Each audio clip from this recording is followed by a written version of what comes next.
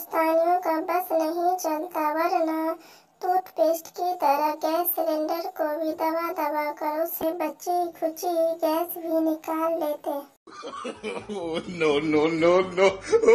no